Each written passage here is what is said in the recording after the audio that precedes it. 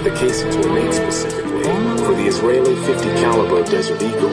If they can track down this rare handgun, it may lead them to their killer. I'm better dead than alive, so I take it as a sign. I pull the fucking nine and commence with the grind.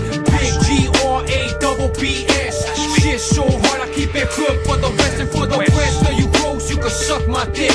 All you punk ass bitches never done no shit, never done no time, never done no crimes. So I'ma spit last night. There's an eagle in my waist, shake clear my side. Bitch hit me on the trip, she got no reply. Cause I was in the zone where them harpies fly. I seen the prey and he began to break. Then my shit would get jammed and it wouldn't spray. So I shot the buck. now he coughing in blood. I cocked the other strap, then I finished the job. It or live.